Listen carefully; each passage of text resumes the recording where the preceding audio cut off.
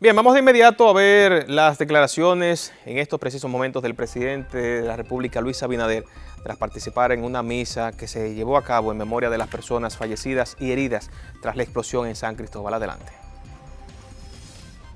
Eh, ayuda psicológica también a las víctimas. Estamos trabajando en todas las áreas y le, vamos a responder eh, proporcionalmente a esta terrible tragedia que bien hay víctimas que muchísimo.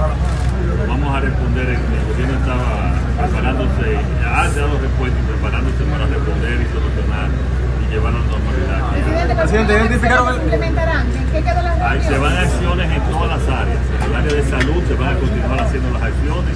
Ya realmente se han atendido y la gran cantidad de personas afectadas ya se han dado de alta porque han sido leves y las que son ya de mayor gravedad pues se le está dando la atención de vida y, cubriendo todo. En la parte, de la parte ya eh, material, eh, se está viendo las edificaciones que ya son un peligro para eh, proceder y demolerla en las acciones y ya se está preparando un plan de qué hacer con esa zona. También, atender, atender a los pequeños negocios, atender económicamente a todos los pequeños negocios afectados.